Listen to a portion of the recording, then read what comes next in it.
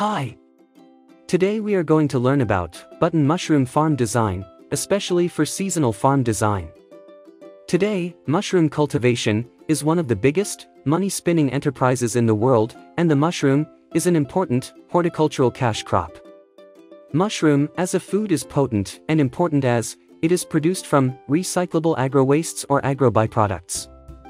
And the requirement of land is not prerequisite in its cultivation, as it is grown indoors in protected houses, with environmental control. In India, button mushrooms are grown seasonally, and in environment-controlled cropping houses. White button mushroom requires 20 to 28 degrees Celsius temperature for vegetative growth, which is called spawn run and 12 to 18 degrees Celsius for reproductive growth. Besides that, it requires relative humidity of 80 to 90% and enough ventilation during cropping. Why enough ventilation is required?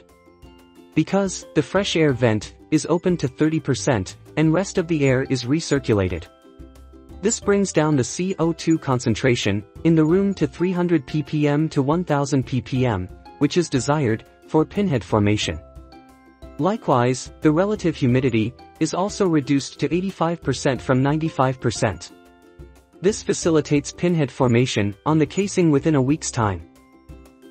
Seasonally, it is grown, during the winter months, in the northwest plains of India, and for 8 to 10 months, in a year on the hills. However, with the advent of modern cultivation technology, it is now possible to cultivate this mushroom anywhere in India. You can also join the free upcoming webinar on mushroom cultivation, the link is in the description. Generally, button mushroom cultivation process comprises of six major steps. That are Mushroom spawn production, preparation of compost, spawning, casing soil preparation, crop management, and harvesting. Spawn production is slightly expensive. But, you can skip that step by buying spawn from authentic source or from our website.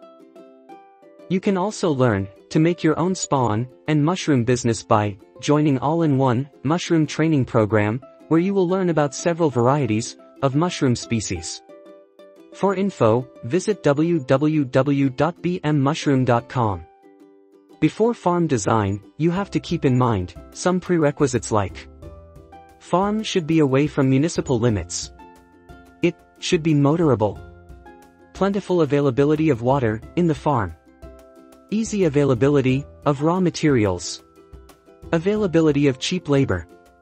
Uninterrupted, proper power supply, and farm should be near to the market. Mainly, Button Mushroom Farm consists of four units like spawn unit, composting unit, cropping unit, and post-harvest handling unit. Now, come to the point farm design. There are two types of button mushroom farm, viz. Low cost, for seasonal growing, and high cost, for year-round cultivation. Both of two designed, low-cost and high-cost farm consists of this type of design layout. Here we are discussing about low-cost farm design. Total area, needed 3,597 square feet for an economic farm. Let's explain, that area breakup. Number 1, for cropping rooms, which comprises the size of 25 feet by 13 feet by 12 feet, and thereby, the total area, for cropping houses, is 1,300 square feet. Number 2, 52 feet by 6 feet by 13 feet, one corridor, which turns around 312 square feet area.